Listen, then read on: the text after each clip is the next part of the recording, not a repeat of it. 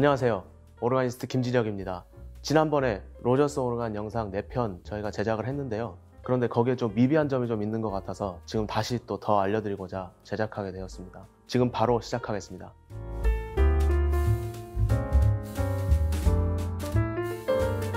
지난번 영상에서는 뭐 stop family별로 한 곡씩 들려드렸었죠. 근데 제가 저번에 이 로저스의 핵심이라고도 할 수 있는 차임을 깜빡했습니다. 그래서 이 차임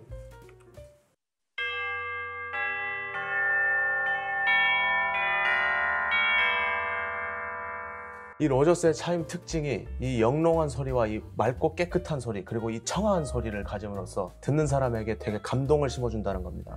차임 종류도 우리가 흔히 아는 매뉴얼 차임부터 이렇게 페달로 누를 수 있는 타워 차임도 있습니다.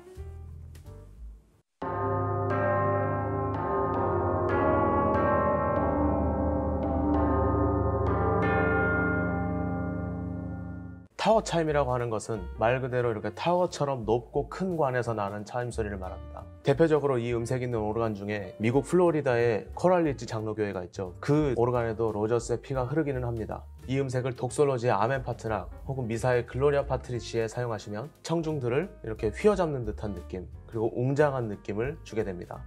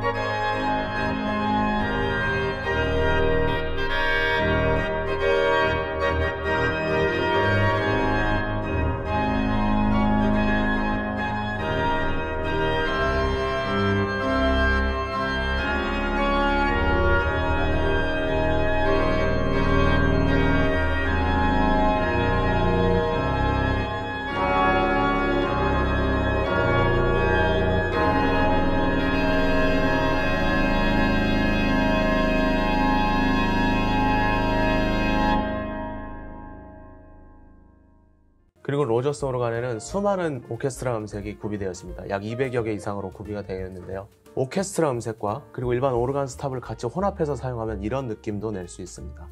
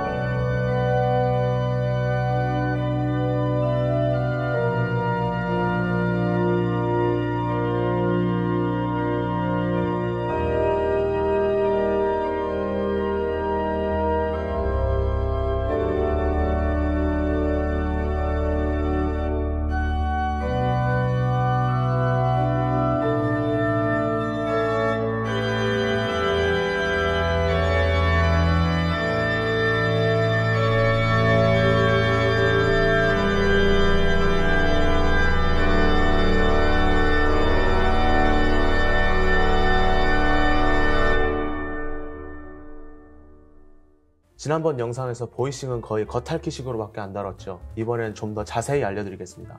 실제 파이프 오르간을 설치할 때 그 파이프의 톤을 조정하는 것을 보고 voicing이라고 그러는데요. 로저스 오르간은 실제 파이프 오르간에 그 voicing하는 그런 기능들을 100% 전자식으로 지원합니다.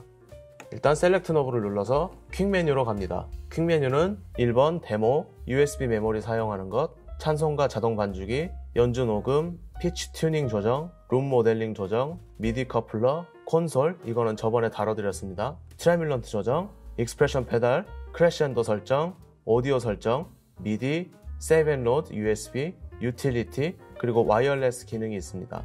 그리고 여기서 양쪽 knob를 동시에 눌러서 서비스 메뉴로 들어갑니다. 30번부터 나오죠. pipe modeling, stop voicing, pipe interface, pipe disable, equalizer, matrix mixer, subwoofer mixer, speaker setup, system console, switch assign, audio test, calibration, organ customize 이렇게 있습니다. 그 중에 stop voicing을 하기 원하시면 31번 stop voicing으로 들어갑니다.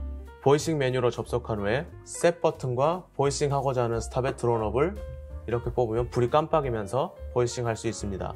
LCD에 보시면 각 stop의 볼륨 밸런스, 톤, 튜닝, 아웃풋, 그리고 부드러움 조정, expression coupler, 그리고 체크, voicing panning, rank voicing, note voicing, advanced voicing 이렇게 볼 수가 있습니다.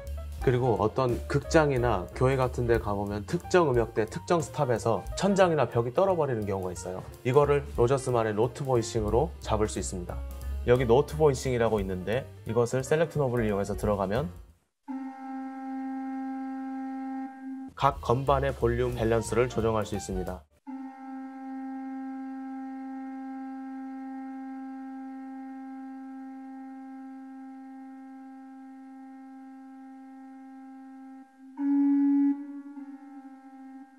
차이를 느끼시겠나요?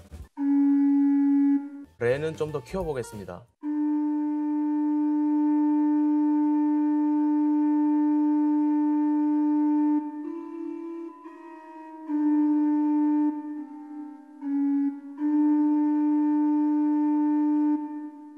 특정 음의 음역대 음량이 다르게 들리는 경우가 있는데요. 다른 오르간 같은 경우에는 스탑 자체의 밸런스를 줄여야 되기 때문에 이 스탑 기능이 죽어버립니다. 그러나 로저스 오르간은 그 음역대 그 건반만 따로 조정할 수 있는 기능이 있습니다.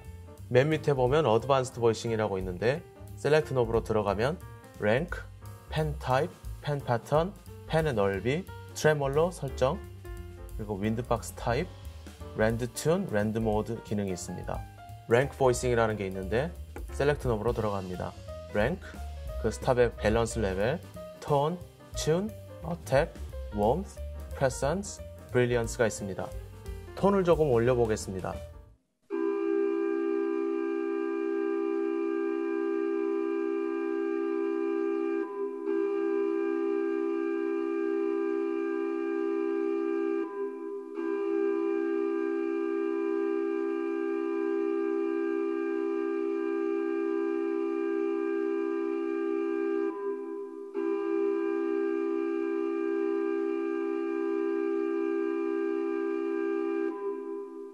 이렇게 소리의 강도가 약간의 차이지만 조금 더 세지게 됩니다. 그리고 음색의 온도를 조정하는 웜스가 있습니다. 웜스를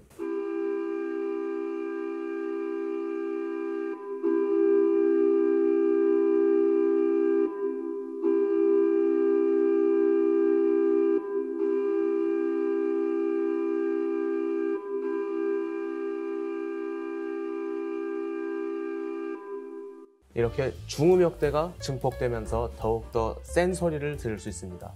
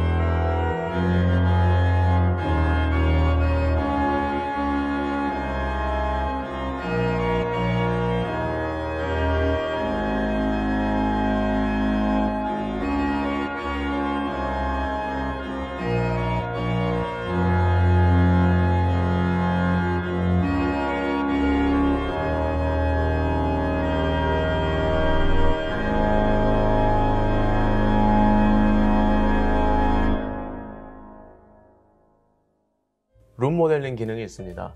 Room Modeling 기능은 reverb 조정과 상관없이 오르간의 출력과 잔향을 조정하는 기능이에요. Select knob로 들어가면 Room Type, Wall Type이 있습니다. Room Type은 그야말로 공간의 타입을 말하는 것이고 Wall Type은 벽재 종류를 말하는 것입니다. Room Type은 홀, church, cathedral, 그리고 chamber가 있습니다. 그리고 월 타입은 drapery, 천, wood, 나무, brick, 벽돌, marble, 대리석이 있습니다. 그런데 이것을 꼭 실제 상황에 맞춰서 사용하실 필요는 없고 원하는 잔향 종류에 따라서 사용하시면 됩니다. 실제 홀의 벽 재질은 우드이지만 대리석 벽 홀에서의 그런 울림을 원하시면 마블로 바꿔서 사용해도 무방합니다.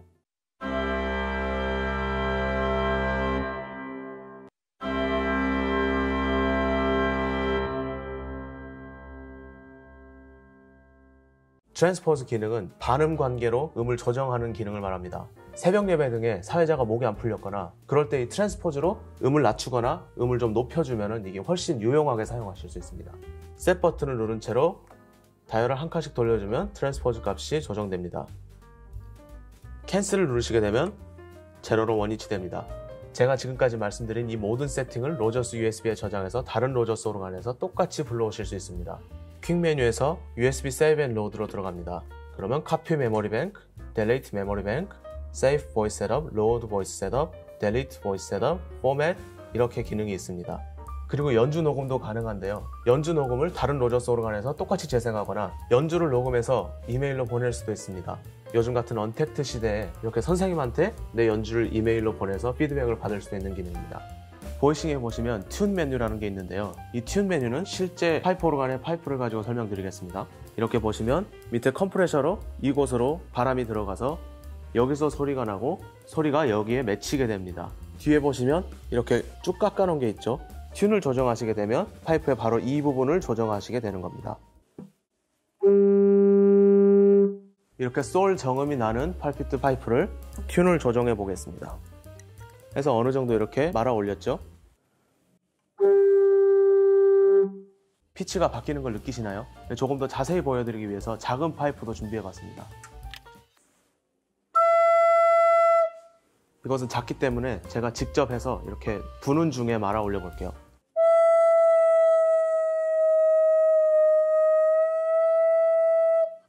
확연히 차이가 나죠? 튜닝을 조정하시게 되면 이거를 아주 미세한 헤르츠까지 조정하실 수 있게 됩니다.